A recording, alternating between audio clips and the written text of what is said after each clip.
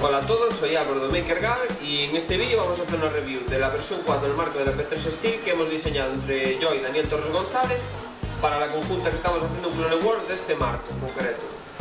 Eh, en el vídeo os voy a explicar las mejoras que hemos intentado implementar en la versión 4 y los problemas que me he encontrado a la hora del montaje para entre todos conseguir solucionarlo aportando ideas y conseguir un marco realmente bueno.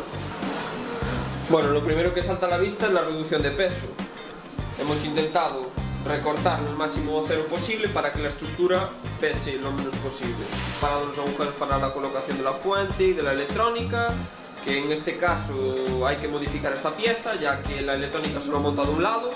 Eh, otro problema que he encontrado es que el marco, al no tener la pieza trasera enganchada en los dos tirantes, pues obviamente flexa un poco. Entonces lo que se me ha ocurrido es meter una barra fina eh, por la parte inferior de este lado a este lado para, para que nos abra un poco el marco y que nos quede la estructura igual de rígida que era antes. No tiene mayor problema, esto sigue estando lo rígido que estaba, pero bueno, más que nada para que esto pueda llegar a moverse adelante y atrás realmente fácil. Hemos modificado las piezas superiores del eje Z para que cuando el eje Z suba hasta arriba de todo, el motor no nos toque con, con estas piezas y que podamos llegar a imprimir hasta esta altura, porque antes el motor tocaba en estos soportes y no se podía imprimir realmente hasta más altura. Hemos también introducido dos agujeros en la parte superior para montar los rodamientos, si alguien quiere montar rodamiento en la parte superior del eje Z, pues que lo pueda hacer con estos dos agujeros. Y también hemos añadido otros dos agujeros en, en la parte trasera para colocar un soporte de bobina. Más cosas, hemos preparado la base para instalar tres rodamientos, cuatro rodamientos o tres rodamientos, como cada uno quiera. Y también vamos a hacer una modificación para, en el marco de 20x30, poder colocar una cama de 20x20 o una cama de 20x30. Hemos añadido eh, un tensor cortado a láser, que sería esta pieza de aquí y que aparte añadiría esta otra que iría ahí atornillada, aquí colocaríamos nuestro rodamiento con una dantela y entonces tensaríamos la correa pivotando sobre este punto y tensaríamos de esta forma la correa. También he dejado agujeros para montar un tensor que ya había diseñado yo en su momento por si alguien no quiere montarlo de esta forma y prefiere montarlo con una pieza impresa para que ya tenga los agujeros preparados para montar un tensor. Eh, más cosas que se han modificado, se ha modificado el soporte del motor para que al meter el tornillo que y el motor esté instalado, que esto no llegue a tocar con el motor, que era una cosa que pasaba. Eh, más cosas que hemos hecho.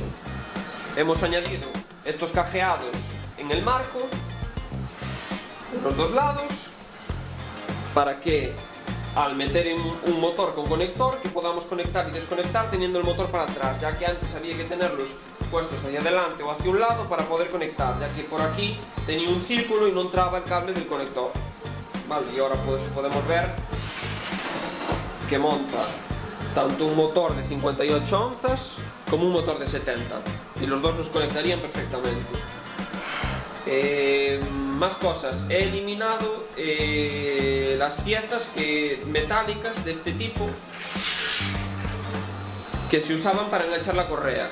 Pienso que es mejor imprimir una pieza de plástico porque agarra mucho mejor la correa y las piezas metálicas que se ponían aquí eran complicadísimas de poner y se, podía, y se escapaba la correa muchas ocasiones al montarla. Hemos ampliado este hueco de aquí para que cuando el carro se mueva adelante y atrás con la pieza impresa aquí colocada, pues que no llegue a tocar con el marco. Hemos añadido, si os fijáis también aquí, unos agujeritos para la colocación de bridas, que se colocarían por ahí, así se llevarían, se les daría la vuelta por la parte de abajo, para llevar todos los cables bien ordenados. Otra cosa aquí que me he dado cuenta es que había dejado unos agujeros para pasar los cables que voy a alargar, que tendré que alargar hasta prácticamente a lo mejor lo alargo hasta la parte trasera, debido a que cuando movamos el carro adelante y atrás, pues eh, se nos puede quedar este agujero realmente pequeño y no pasar los cables por ahí, con lo cual voy a ampliarlo para tener más margen que podemos pasar más cables por ahí. También he encontrado un problema aquí, que es el siguiente. Si os fijáis, no sé si se verá muy bien, este soporte está completamente pegado hacia atrás, en el carril, toca con el carril y nos falta aquí un cacho, con lo cual voy a ampliar esta ranura un poco más para que nos pueda venir completamente la cama para atrás si es el caso de que te hace falta que la, la cama pues vaya más hacia adelante, con lo cual eso, ampliaré esta ranura un poco más para, para reparar eso. Como podéis ver la cama se mueve súper bien, súper ligera. Los tensores, las escuadras que he hecho al final, pues simplemente veréis qué fácil es montar esto ahora. Si aflojamos este tornillo y aflojamos este tornillo, mirad qué fácil se mueve y atrás la escuadra. De esta forma podemos montar la escuadra sin tener que... Antiguamente en el marco de la P3 Steel había que colocar la escuadra antes de colocar esto, ya que como el tensor y esta pieza iban unidos, una vez que tenías colocado esta, todo el tensor y estas piezas, no podías colocar esto. Con lo cual, ahora es mucho más fácil, lo deslizamos por la ranura y lo colocamos en su sitio, es mucho más fácil de montar. Un fallo que me he encontrado en esta pieza no engancha precisamente porque no lo he dejado reborde aquí. Entonces tendré que echar el tornillo un poco más adelante para dejar un reborde y que realmente esto apriete. Pero bueno, en principio con lo que he visto a la hora de montarlo eh, en el caso de dejarlo así eh, no habría ningún problema porque queda exactamente igual de rígido. Una vez que, una vez que este tornillo está enganchado pues no, no hay problema ninguno.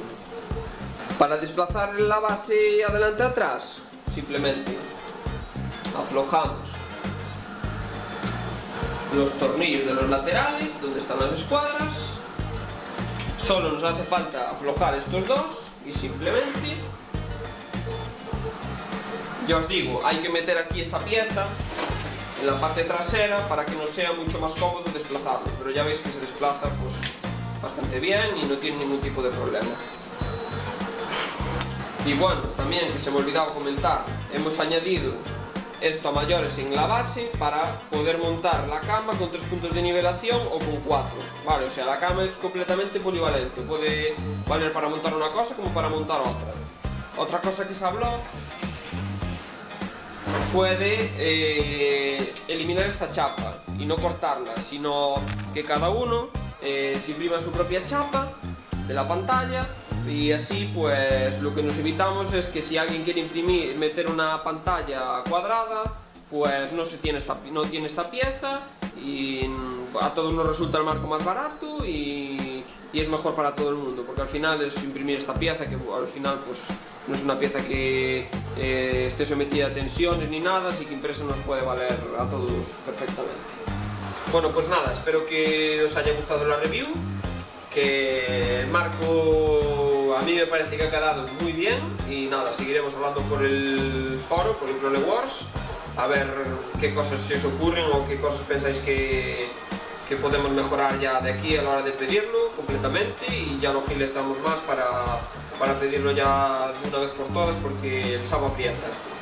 Así que nada, un saludo y espero que os haya gustado el marco.